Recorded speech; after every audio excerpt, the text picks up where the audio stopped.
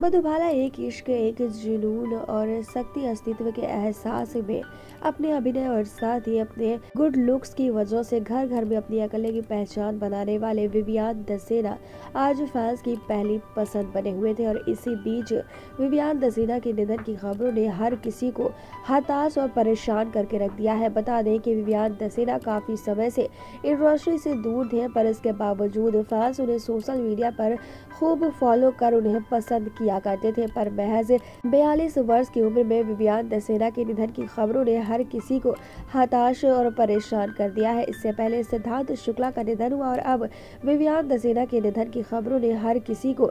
सोचने पर मजबूर कर दिया है। बताया जा रहा है कि विवियान दसीना ने प्रोटीन का ओवरडोज ले लिया था, जिसकी वजह से उनकी हालत गंभीर हुई और उन्हें मुंबई के ब्रिज कैंडी हॉस्पिटल में एडमिट करवाया गया और वहीं से उनके निधन की खबरें वायरल हुई। हालाँकि उनके निधन की पुष्टि न उनके परिवार के किसी सदस्य ने की है और न ही किसी बड़े सेलिब्रिटी ने, जिसके तौर पर यह माना जा रहा है कि विवियान दसीना की हालत नाजुक होने की वजह से उनके निधन की झूठी अफवाहें फैलाई जा रही है। दोस्तों, क्या कहना है आपको इस रिपोर्ट के बारे में? कॉमेंट के ज़रिए अपनी राय शेयर ज़रूर कर दें। हमारे इस वीडियो को बनाने का असली मकसद यही है, अगर आपने भी इस तरीके की किसी भी जानकारी को देखा या सुना है तो उस पर विश्वास बिल्कुल भी ना करें। इस वीडियो के माध्यम से जो कुछ भी इन्फॉर्मेशन मैंने आपको दी है, वो हमें सोशल मीडिया के माध्यम से प्राप्त हुई है। इस बात में कितनी सच्चाई है, इसका पुष्टिकरण हमारा चैनल नहीं करता है और न ही किसी भी तरीके की अफवाहों को फैलाना हमारे चैनल का उद्देश्य आपका कीमती समय देने के लिए हमें धन्यवाद।